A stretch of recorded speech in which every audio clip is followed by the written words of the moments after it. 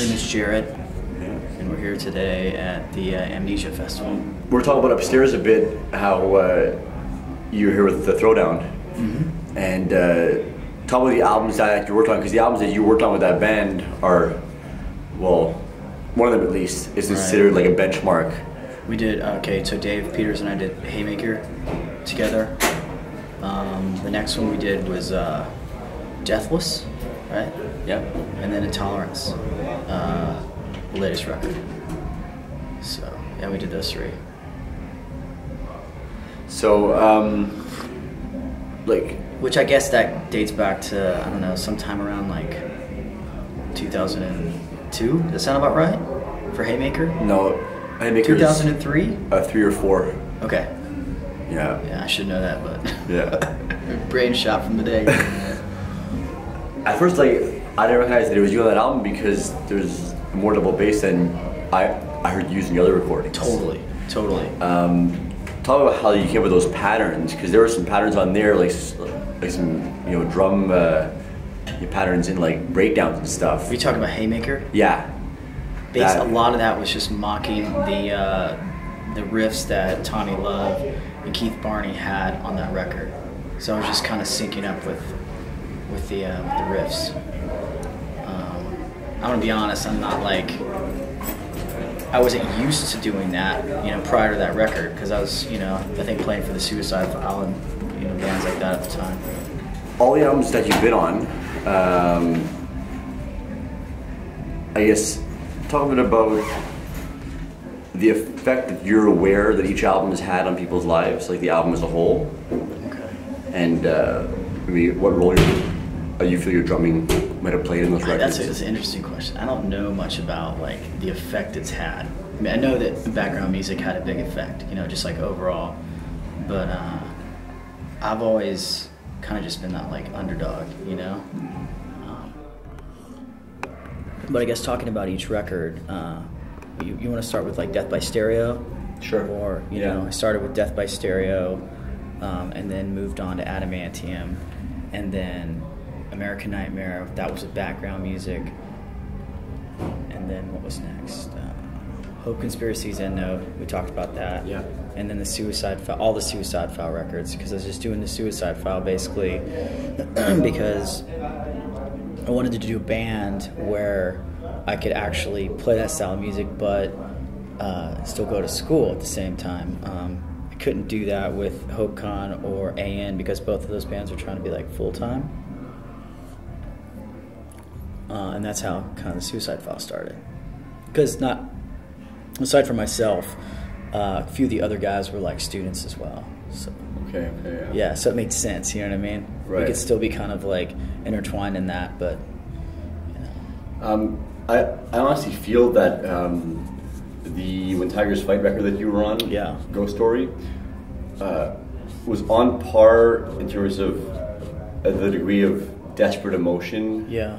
Like dark, like dark, somber emotion, as the background uh, music was. Oh, wow. Let's say that album, the Hope Conspiracy album, the the Tigers Fight record, they're all kind of similar to me in, in like emotion. Uh huh. Tell me a bit how you feel those records convey emotion and convey suffering, because those are three very dark albums. I, you know, I'll probably take a little bit different angle at this. Mm-hmm. so not to like, like, my my place in this whole thing was, I just really liked playing drums and like meeting these new friends at the time, such as like Tim from American Nightmare, my friend Kevin, who was a singer of HopeCon.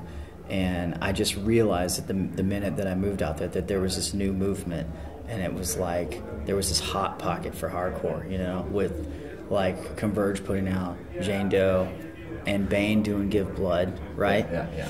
And and of course American Nightmare, Suicide File, HopeCon, they were kind of a part of that because it was all happening at the same time, and it just so happened that like these bands, um, you know, one after another needed needed you know a drum position, but randomly I had friends that were uh, that were involved with Hope Conspiracy, like Aaron Lacey was an Adamantium, so you know I had previous uh, experience riding with him.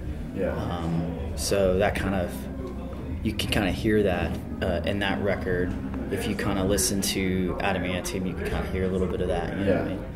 But uh, I think each record kind of had its own little flavor. You know what I mean? Like with with background music, it seemed just like uh, sort of that really fast, pissed. See, the thing with that record is like I came straight from Southern California, so I was playing almost like that typewriter beat, that no effects, and I got kind of ridiculed lightly uh, by my friend Tim. He's like, "Oh, it's too, it's like too SoCal. It's not like hardcore enough." So I remember getting that record back, and it. And I'm sorry, I'm getting off the subject, but no, this no, is this is okay. This is great. okay, but uh, the way that it was mixed, they said. Uh, I don't know if it was Tim or someone else said that like they mixed it so that you could feel the kick drum but not hear it because if you heard it, it wouldn't be as like authentic old school hardcore or East Coast because I'd come from the West Coast playing more of the do ba do ba do ba do ba not you know what I'm saying? Like different, d- exactly different, versus- uh, yeah. different bass drum patterns, you know. Yeah. But I personally, uh, you're cool, you're cool. Uh, I personally liked that that um, I don't know that really super rapid uh, kick and snare back and forth. Me too, actually. More kicks, yeah. Yeah. I enjoyed playing it. I felt like I was uh, a little more consistent and tighter playing that particular beat. But when I dropped it in with American Nightmare, it almost made it sound like I don't know, two like Fat Records or something. You know what I'm saying? Well, that's it. Um, And I get it, but I just Yeah. remember that particular moment with that album. You know? Epitaph, the whole, you know, whole fast. I mean, Good Riddance, for example. Yeah. You know, um, Yeah. Sean Sellers. Yeah. I loved Yeah. that drummer. Yeah, and Russ is a friend of mine, and like I, I remember like listening to that that heavy kick, going like, I love this, you know. Yeah, yeah. I remember when I first saw Good Riddance uh, play in Corona, California.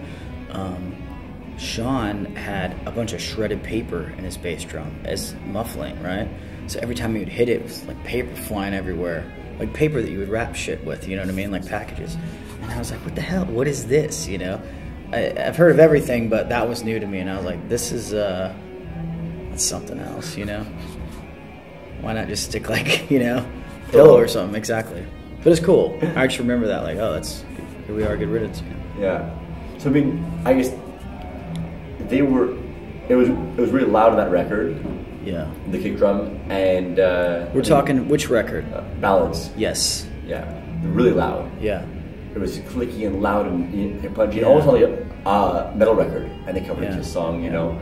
Um, whereas in American Nightmare, yeah, I guess it is maybe a Yeah. more old school because the Yeah. kick drum is. A you could bit- hear it kind of trucking along, but you, for me, and maybe for other drummers, you there was a little bit of, a struggle to hear like the definition and uh, and like what was going on, but you could tell it was there, you know. Yeah, it's almost like if the kick drum is loud, it's either punk or metal. Yeah. If it's muffled, it sounds more raw and more hardcore for some reason. Mm-hmm. It's funny how that works. Um, And then, yeah, well, HopeCon was pretty much a single kick, more like traditional punk on that one. Yeah. Is it possible? Your playing's a little bit different on End Note.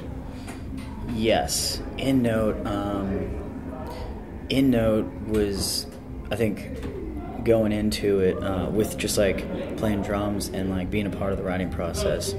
We wanted to have a much like sludgier, kind of raunchy, like drum sound. so what we did was we put PA a PA in the room, firing the kick and snare back into all the microphones, and then we had like uh, PZM realistic mics slapped on the walls, and it was a lot of bleed going in, uh, going on, I should say, um, and it almost had like this big mushy kind of overall vibe going on. But I thought it was cool. You know what I mean? I mean, it's like uh, coming from like Dean Baltulonis doing American Nightmare and the Suicide File and other records. It was de- to me, it was definitely drastically different sonically than those other records.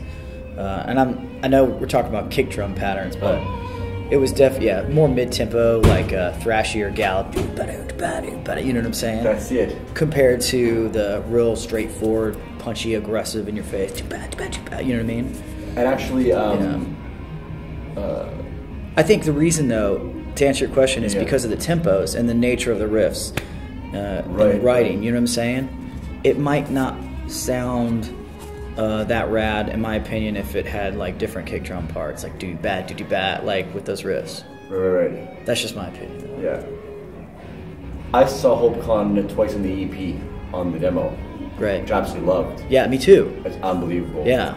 Um, And I played a few shows with them, and uh, I really wanted to. If I wanted to play the whole EP, the whole demo, you know, but some of those songs at the time they didn't they didn't play, but yeah. yeah, Um, and then Cold Blue, like that drummer, yeah, um, Adam. yeah. He was a beast. Yeah, like Yeah. he was really exciting to watch. Yeah. And seeing that band kind of come out of nowhere. Well, I mean, I was a fan Yeah. of Piecemeal, obviously. But then when they started coming around, I saw HopeCon for the first time with uh, Cold as Life and Hatebreed Cool. Around I think maybe 2000. Right. I think Cold was just about to come out Yeah. because we got the DG pack, Right. and then they repressed it in the Jewel. And uh, I only knew of uh, Kevin and also the Harvest dudes. Yeah. I was, a, I was a big fan of Harvest. Cool. know? Yeah. Um, and uh, I, I remember thinking, wow, this guy fucking hits hard, Yeah. And I like his He's just a big dude. You know what I'm saying? Yeah. Play, playing ride cymbals, and he had this snare drum called the Heavy Rock Nine, which was this nine-inch. Uh, sorry, I'm done with my coffee. So No, no, no, no, yeah, yeah. to ditch you- it. was done, You're yeah, dusted okay. too. So uh, it was this like nine inch snare drum, uh, brass with like uh, it had like like felt rings on the inside or something. I don't know, some weird thing. But I remember he had that kit, and then he had a uh, a pearl drum set that he took in his basement and stripped it down so that it was like a natural finish. Uh, that guy was cool. I liked his drumming too. Yeah. A lot of force. Big time, man. Totally. And his patterns are, are uh, quite unique. Like, Yeah. it's not what you usually expect. Right. Um, so, I think if you had played on those records, Yeah. I don't think it would have sounded that different, to be honest.